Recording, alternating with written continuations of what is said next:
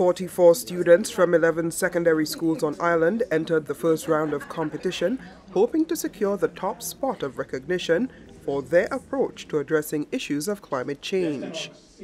Combined, their efforts resulted in 30 entries at the first stage of competition, with students from the St. Mary's College, Soufrière Comprehensive, Leon Hess Comprehensive, Entrepot and Greenfield Comprehensive Secondary Schools entering the final round of judging.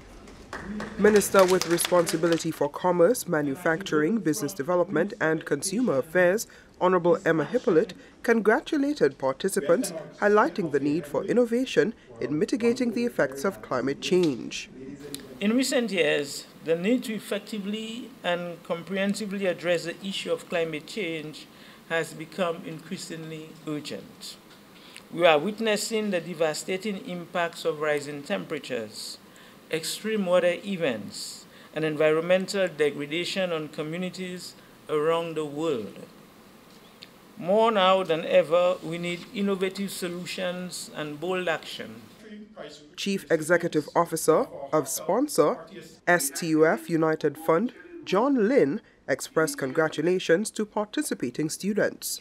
The competition emerged through collaboration between the Ministries of Education, Sustainable Development, Innovation, Science, Technology and Vocational Training, Commerce, Manufacturing, Business Development Cooperatives and Consumer Affairs, as well as the Embassy of the Republic of China, Taiwan.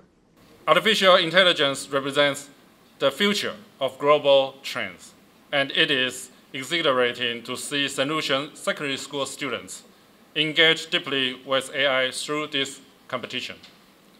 Their involvement clearly indicates a move towards a brighter future in AI technologies.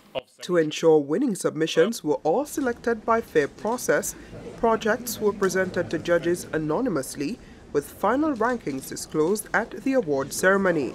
Of the nine final teams, six received honorable mentions. The five male finalists all created interactive audiovisual presentations highlighting the impact of climate change. Students from the Soufrière Comprehensive Secondary School captured third place. Submissions from the St. Mary's College secured the second and first place ranking.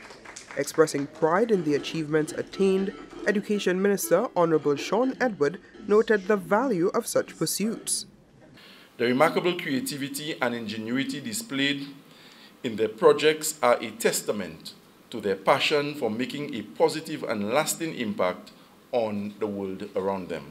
Your hard work, perseverance, and innovative thinking have set you apart as true leaders in the use of technology to address environmental challenges. Minister Edwards says innovation continues to be encouraged through the ongoing ICT in Education program through which the provision of smart classrooms, some 5,000 internet bundles, and devices to assist in educational pursuits have been secured. From the Communications Unit of the Department of Education, Innovation and Vocational Training, I am Kiba Taliam reporting.